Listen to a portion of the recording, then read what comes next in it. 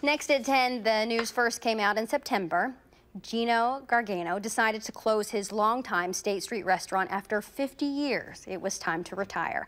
But before Gino could serve his last pizza or famous lasagna, we asked News 3 traveler Mark Koehn to pay one last visit to Gino's. If Hollywood were to build a set to look like an Italian restaurant, it would look like this. And Central Casting would hire this guy to be the chef. But who needs Hollywood? Madison has Gino Gargano and his State Street restaurant. I'll tell you something. This is the best thing in my restaurant. I just saw this morning.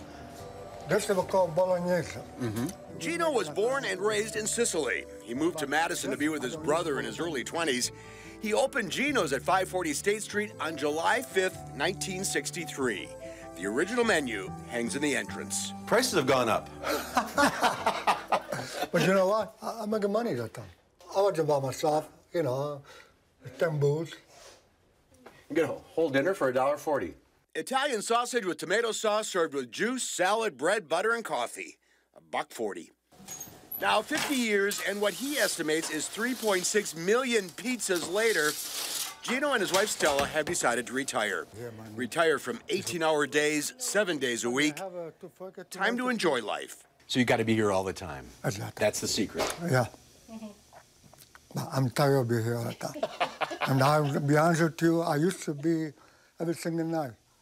Now, especially on Friday night, they want me here, I can't do. Because if I do, then I, the rest of the week I'll be dead. Yeah. It's impossible. And, uh, I'm an old robot. I'm 72 years old. Famous for his pizza. I'm making a pizza margherita.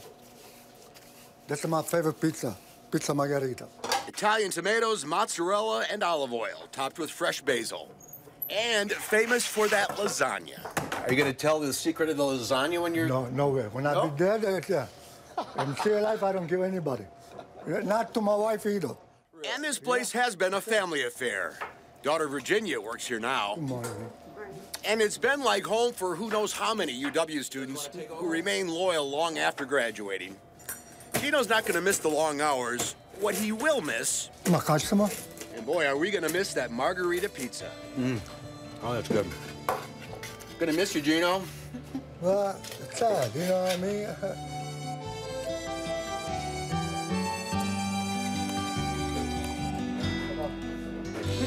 I'm gonna try and enjoy my life.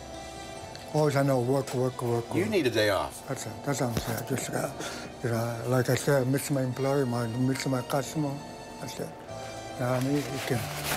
That's it. Hollywood couldn't write a better ending. Driving in Madison, I'm Mark Koehn, WISC News 3. Boy, a lot of people are going to miss him. A New York retailer will be moving into the lower level of the building. The Kabul restaurant, already on State Street, will locate upstairs. Gino's last day is this Thursday, Halloween, and a big party is planned, and you are all invited. Hope to see you there.